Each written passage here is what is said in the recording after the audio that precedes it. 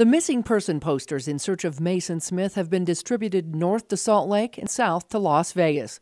The 17 year old disappeared September 1st from St. George, and efforts to find him have so far turned up empty handed. There was uh, some sightings uh, or a sighting made in um, uh, West Valley City uh, a week or so ago, and and uh, people have followed up on that, but uh, nobody has found him. So again, there's there's no evidence of him anywhere. We don't have him on film anywhere in the country.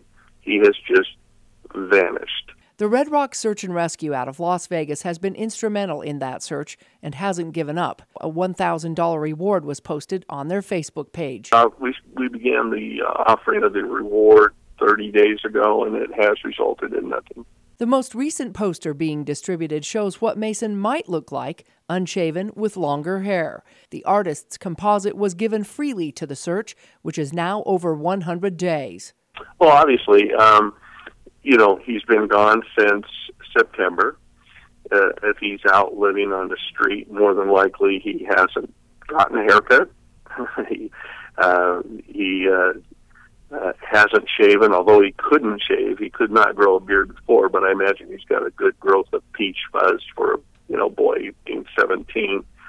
So uh, we requested uh, an artist to give us an idea what he may look like today in comparison to uh, when he left home when he was clean shaven and.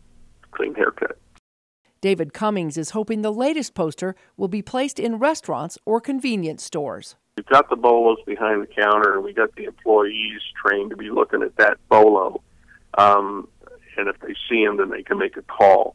While no new developments have turned up recently, Cummings says search and rescue teams haven't given up. We are conducting searches uh, weekly. They continue to comb the desert and streets where Macin might be. This boy has uh, disappeared. There's virtually no evidence of where he went. Um, there's no sign of him anywhere.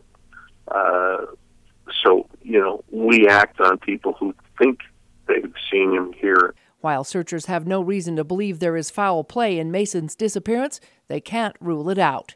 They're only hoping that someone will see something and call it in. In St. George, Melissa Anderson, KCSG News.